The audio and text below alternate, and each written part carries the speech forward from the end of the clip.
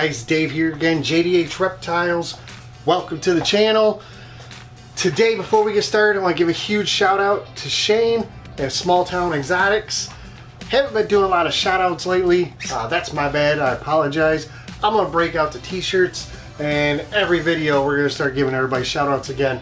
So if you'd like to get a shout out, if you got a shirt, hat, whatever the case may be, and you want to send it on through, give me a shout, leave a comment below, or you can email me at jdhreptiles@gmail.com, and I'll give you an address.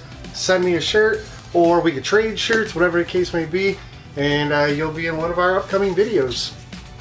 Moving on to this year, the way the season has played out. Uh, I will do a comprehensive video here, you know, probably about a month from now, maybe six weeks. We have one clutch left in the incubator. Uh, that clutch gets cut this weekend, and that is it. I don't foresee any other clutches being laid at all this season. So, looks like 2020 season is a wrap, or just about there. Uh, like I said, about another week to go. We'll cut those uh, eggs, give them a week or two in the incubator, let them come out, get them into their tubs, and then that's about it. Um, the great part about this is we start doing uh, ultrasounding here in like two weeks. So we start ultrasounding females, checking their follicle growth, looking for follicle development, and then we start breeding again. I'm so excited. Uh, you know, this year it was it was a real kick in the teeth. Let's be honest. Uh, we ended up having 19 clutches. Six of them didn't make it. We had one slug out and the other five just didn't make it through incubation. We had horrible incubation this year. Um, kinks, missing eyes, etc. Uh, matter of fact, a clutch update to come up will go through that entire blackhead clutch, and it's it's a doozy, guys. Let me tell you. But we're gonna do, like I said, a comprehensive video that'll go over, you know, the amount of babies we produced, the deformities, what we found, what we didn't find. Um, you know, eggs we lost on. It really just kind of hone in and wrap up exactly what happened this year, what we can figure out might have happened this year. but next season, the 2021 season, uh, I'm hoping right around 35 girls will go. Maybe if we're lucky, we'll get a few more. Uh, maybe if we're unlucky, we'll get a few less. But in that 30 to 40 range would be amazing. Be great to get that going. We got the big incubator up and running. I just need to make my shelves and get my egg boxes. And I still haven't decided on egg boxes. Either think about going with the, uh, the seal top boxes or using just standard shoe boxes with uh, press and seal over the top. Again, I haven't decided which way I'm gonna go. I do need to figure that out pretty soon though. I think once I get the shelves in there, I'll do some measuring and see how I can maximize the amount of usage with tubs uh, because I want to make sure if we're going to have, let's say, up to 40 uh, clutches, that I can fit 40 clutches in it. It's a large incubator, but the inside dimensions actually are kind of small. So again, just going to see what we can do there. Uh, but I do want to take a moment to show you guys a couple bangers that we got this season. And, and like I said, we're going to go through all of them again, but some that really speak to me, they're, they're amazing, things I wanted to produce. Um, and I'm going to show them to you really quick here, and we can um, kind of enjoy those together. All right, guys, so I couldn't start this without showing you this girl, or this boy here. This is our lesser Mojave Scaleless. Uh, I only had one scaleless clutch. Had a couple scaleless head clutches.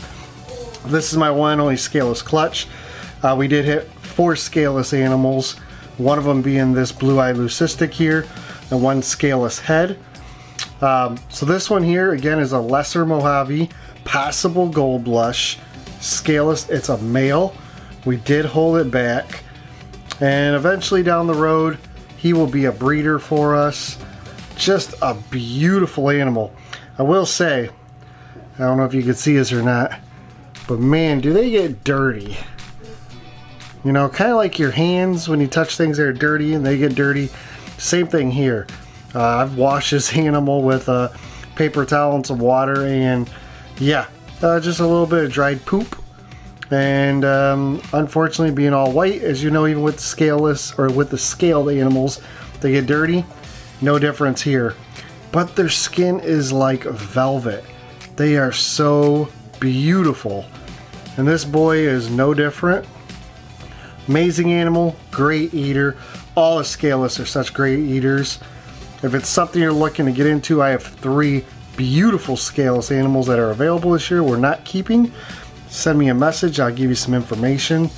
But yeah, this one here is going to stay and eventually hopefully be a little breeder for us. Alright guys, and the next one I had to show you was this beautiful pastel Lori. Now you know I, I worked the Lori gene this year. I had three clutches. Um, Enchi Lori to a Cinnamon Lori. Then we had an Enchi Lori to an albino black pewter and then we had the Enchi Lori to a pastel girl. So this one came from that pastel Enchi Lori breeding. Now we did find out, we did gear, uh, figure out that Enchi and Lori are allelic. So everything comes out either Lori or Enchi. So this is not an Enchi, it is a Lori pastel. Beautiful animal. Uh, we did hold this one back. We sold all of our Lori stuff just so you know, it all sold before it hit Morph Market. Um, it was so hot this year. We, we smoked the odds. We did amazing. Um, we, we held back this one here. We held back three super Loris. Actually, one might be a cinnamon Lori. And then I held back a couple Lori het albinos. But yeah, just amazing. I love the way these came out. I couldn't be happier. Just beautiful. I'm to mention a Super Lori. I might as well show it off. Here is the Super Lori. I mean, just look at that animal. Absolutely crazy. We did hit a pastel, uh, black pastel Lori is what it appeared to be. Unfortunately, it was severely deformed. If you followed our videos when we did that egg cutting, you'd see that. Um, we're going to do that pairing again this year. I really want to see if I can hit that animal because it would also be 100% het albino. Just an amazing animal to have for the future. Um, if we have the same odds, then obviously I won't do it anymore. But we had so many incubation issues this year that I had to stack it up to be an incubating issues for the time being. But yeah, hopefully we'll make some more of these this coming year as well. This one here is a male, and uh, man, is he growing and getting up to size. I would love to see him breeding some girls late this 21 season. We'll see. He might get the chance to, to breed one girl. We'll see. Alright guys, so I'm not going to show you all the animals that, I, that we, we held back and the amazing animals. I want you to come back for that update video that we're going to do. Like I said, probably six weeks or so from now, once all of our hatchings are shut out, everything we wanted to sell is moved out because we only got a handful left to sell um, and we've sold out for the year. Again, whatever's in this clutch coming up, uh, that'll determine that because I think we had seven or eight eggs. There was a um, scaleless head gold blush Mojave to a pastel Enchi female. So really hoping to get Enchi, you know, even pastel and Enchi into the gold blush and the Mojave, and of course scaleless head. If we hit scaleless head, it would be amazing. Uh, but but after that, and we get them all hitched and we get them shed and fed, you know, anything we're not keeping once we get moved out, then I'm to sit down I'm to go over everything we did. How many clutches, how many failed clutches, what my problem I feel was uh, with the animals that we did hatch, what was our success rate, just like we did last year. We'll go over the entire year. I'll let you know where I feel uh, we stumbled where we could have made some improvements and where we're going to take from this year and build for next year. Uh, and hopefully we can um, try and lessen the, the issues that we had this year. So hope you enjoyed this video. I know it was just a little bit of talking, a little bit of snakes, but I really wanted to put this out. I wanted to kind of give you guys an idea how stoked I am uh, for not only fact we're, we're ending with this year, we got one more clutch to go, but then it is time to start breeding again. I'm so excited. I uh, can't wait to get the girls and moving around with the boys and, and tell you guys our plans and what we got going on for next year. We've got so many sweet pairings set up. Uh, look at it hopefully with a lot of success. Uh, some fingers crossed. Hopefully we'll have an amazing year and produce some amazing animals, not only to hold back, but obviously for you guys as well. So take care, guys. Appreciate your love and support. Make sure to hit the like button, subscribe if you haven't already, share a video or two, watch a couple videos if you would. Uh, that'll help with our click rates as well as uh, our hours that we need.